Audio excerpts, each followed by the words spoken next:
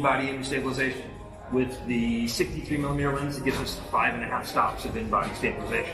Five and a half stops in a medium format camera. So- it's incredible. Another first, right? Medium format cameras typically you can start cross into over 50 megapixel into 100 and more. Image stabilization becomes super critical because now vibration, sharpness, massive, right? And with that being said, I know how how heavy uh, a piece of the componentry just the IBIS alone must be, and yet I'm surprised. It's not that it isn't heavy; it is, but at the same time, it feels light, which is receptive. I don't understand exactly what I'm experiencing here. Body with two batteries and cards is about ounce over three pounds. Ounce. So for medium format, it's light. Yeah. But the balance of it, the way the camera feels, the way it fits in the hand was really thought about. How it was engineered. So yeah, it feels good in the hand. It's about the Sure same does. size as a full-size DSLR. So an old Pro DSLR body is really close in size. I thought about bringing my 1D, my 4 megapixel 1D, but I already had enough stuff to carry. Yeah, so it's really kind of cool. So phase detect autofocus also, we now have tracking. We have a medium format camera that will also track action, shoot at five frames a second. Five frames per second with auto exposure and autofocus locked? No, Or not. tracking. Tracking. Tracking. Yeah. Tracking in there. Wait till you see some of the video content that we have. Um, we actually have action shots On medium format camera. shooting mountain bikers, downhill mountain bikers out in uh, Virgin, uh, Utah. Wow. So being able to do things like this with a medium format camera that were never done before. Other things that we did with it that were kind of cool, rock climbing. Same photographer, we did a whole shoot in uh, Indian Creek out in Utah, outside Moab. There's rock climbers. There's more of these on the wall back Yeah, there. And yeah, so yeah. About 12 of them were out with different photographers around the world. The U.S. photographer is a pretty much extreme action sports guy Wow. and we went out and shot some pretty cool stuff with it. So that's the big things. You'll notice there's some in, the interface has changed, right? Where are the dials? Yes. Okay. This came out of people shooting video and the T3. Feedback we got in the T3 a lot was, I'm shooting stills. I, I throw it into the video. video and My shutter speed is way out here, and I need this shutter speed because I'm shooting 24 frames a second. Right. So the dials are a great thing, but they also can be, in a professional world, it can be a hindrance. So this camera, we got rid of the dials on it, so you can actually have it set up. So we now have the guy here that we can control whether we are in stills, multi, or movie. so what's the difference? Well, multi would be for things like bracketing or focus bracketing or exposure bracketing or maybe some other things that we might add in the future that might be other multi things. and then movie is movie. And so the cool thing is we can actually now, if you're in 24p, a 48 can come up as a shutter speed Right. where it would have never come up before. Right. it was, it's not a true, you know, interval in stills, but in movie it is. So now the camera's smart enough that it can actually change the shutter speed setup so we can customize those, I'm giving you the 180, the true 180 degree shutter giving you the shutter angle Yep. settings that you really want for Yep. good video and for, for clean video. The other thing is I can give you your dials back. They've actually gone so the display here we can customize this guy, the e-ink up here. So it's Yeah. e-ink. We shut the camera off. It displays it's like the H1. Yeah, So I was going to. I was going to say. But Yeah. if I this button back here, if I tap him, I now have my dials back. Oh my God, that is fascinating. That is fascinating. Or you're working in the studio and you're shooting tethered and you don't want any of this, I can actually toggle it into the histogram. So you have that capability to have those different displays set up there and running if you want them. This is well thought out.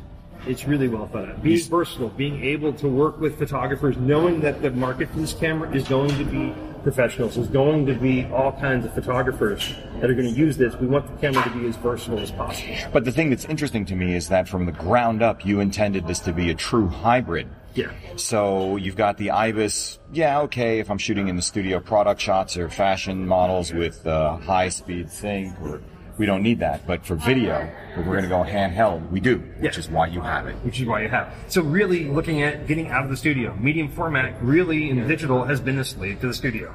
Absolutely. This camera is not a slave to the studio. It can go anywhere. Same Same articulating screen. as the XT3. Yeah. And you'll notice on the back while you're looking at it, there's an OLED down along the bottom of the back. Yes. That gives different displays too, that's customizable. So giving you back some of those things, like like dials, having that visibility into the settings of the camera without needing to use them. Really, really interesting. And of course, the tilting EVF adapter still works. Tilting EVF adapter still works, but this is an entirely new EVF. It's a 5.76 million dot panel. So we've upped the ante on the panel inspector. Yes, So it's even higher resolution. So you can punch in, and when you punch in on re- playback, on image you take, it actually will go into 24x. Gotcha. Because sharpness Wow. is critical. 100 megapixel, 24x mag. 24x mag. Fantastic. Fantastic. I just was shooting, what, three days ago?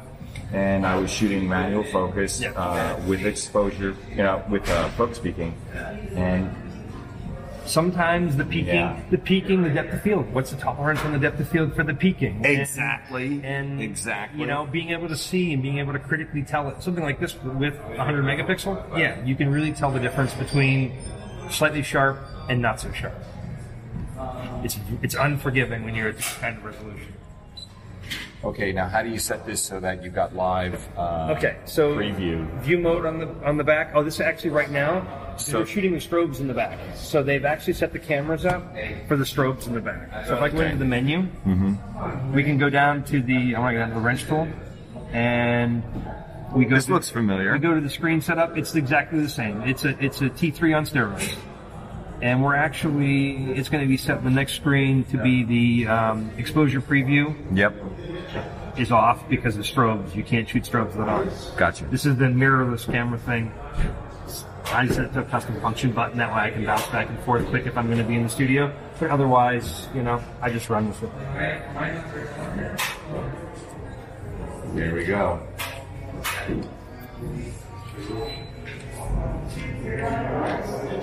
Really nice. Really nice.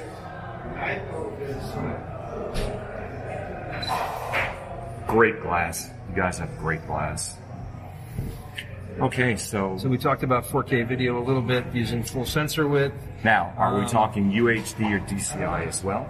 Both. And- So, so it's basically, think about this way, same as T3, except only limited to 30p. Okay. So we go up to 24, 2398, 24, 25, 2998 Right. frame rates. Do you get to 60 with full HD? Full HD. I haven't even looked at full HD yet because no one's asked about full HD. 60 frames per second, man. Well, I mean, you know, you said it it's like the XT3, What's it say? so What's it say? You check it out. If we go in there, what does it actually do for us? That's the easiest way to do it. Everyone's so interested in the other thing that it's FHD, okay, okay. 16.9, Yeah. 60 frames per second.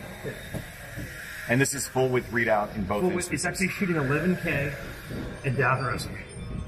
11K in that resonate. But the processing required for this must be huge. Now there was a quad core processor in the XT3. Yeah, What's it's the sitting same, same, quad core processor, yeah. with a lot more data to move. Yeah. Yeah. Uh, raw file and compressed out of this, 200 megabits. Bytes. Bytes. Yeah, Yes. bytes. MBs, 200 Yes. megabits. Yeah, megabyte. Mega capital Bs. Bit capital Bs. Yes. Yeah, 400, I'm thinking 400 megabits per second in video speed. Right. Right. So Yes, talk to me a little bit about the uh, video codecs. What do you got? Do you have So- an intraframe?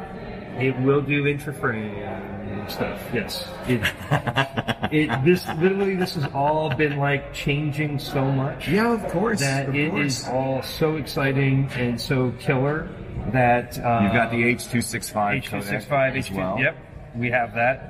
Long GOP and all intra. There you go. So yes, so you can shoot 24 all you intra. guys are so serious about video with this. We are serious about video with this. This camera slates, you know, it's sensor size slates in between ARRI and the, the RED. Right? So this is what you're calling the uh, super full frame.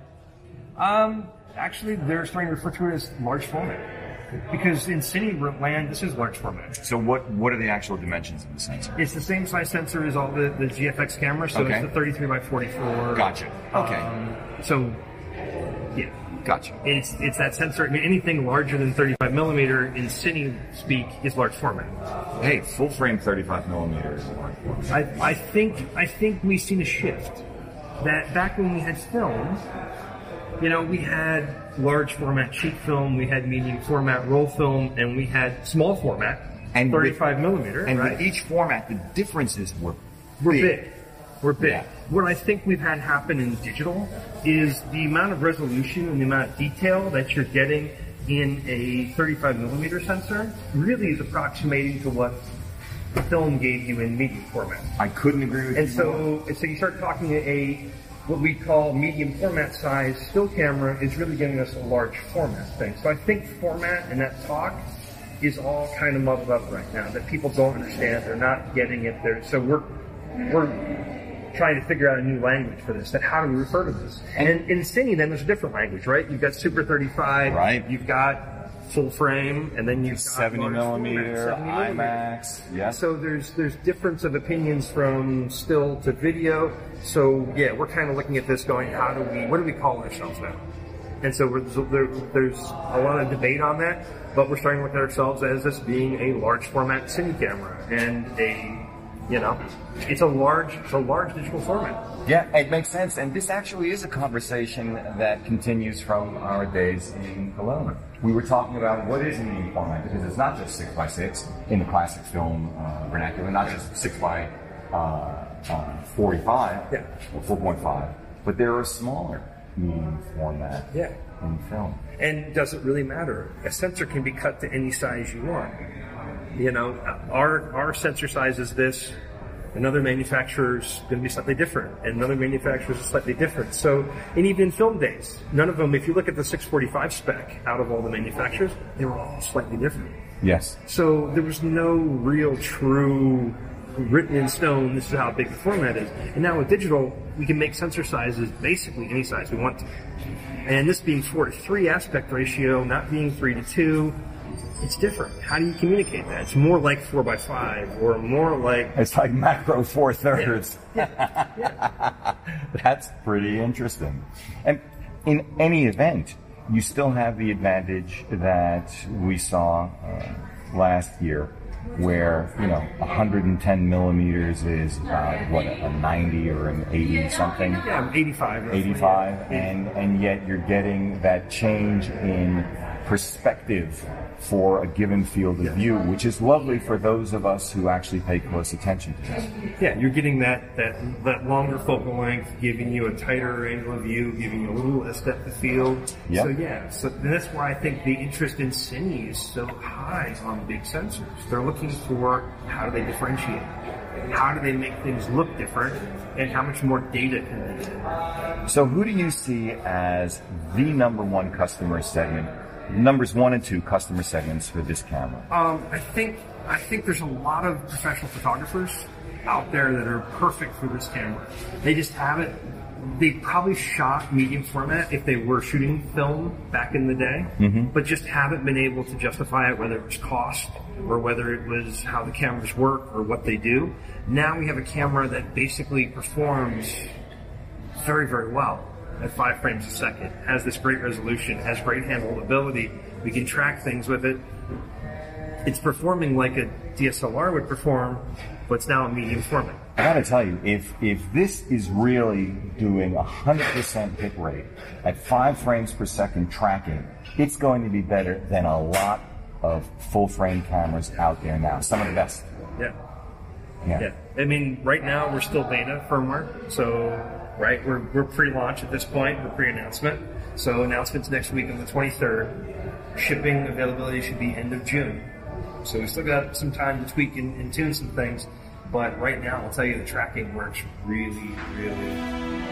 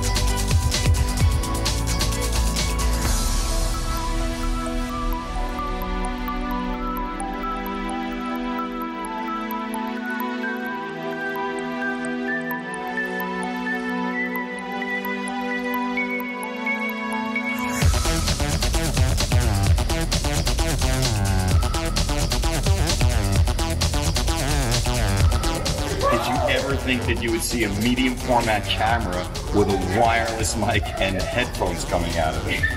All right, hold that for a second.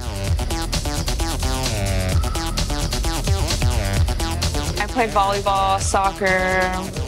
I mean, anything athletic, really, I'm into.